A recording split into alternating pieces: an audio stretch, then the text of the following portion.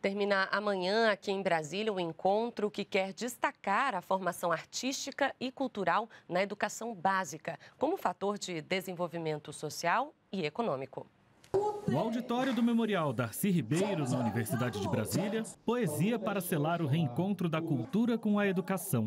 Depois de tanto tempo juntos, aprendi a separar meu tênis dos seus sapatos, minha camisa das suas gravatas, minha tela da sua moldura, meu perfume do seu cheiro.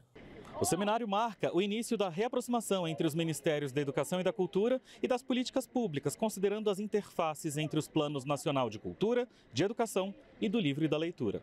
A gente tem a condição de, inclusive, estabelecer metas né, mais objetivas, bem definidas, quando esses planos estão ali fazendo a, e garantindo a devida integração.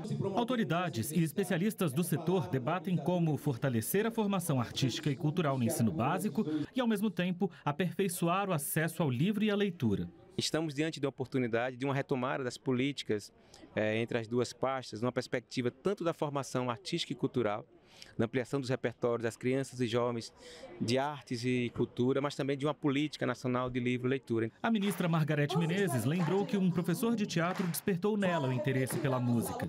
Um exemplo sobre a importância de se aprender arte em sala de aula. É o primeiro movimento fundamental para que nos próximos anos novas oportunidades possam florescer a partir da aliança entre cultura e educação.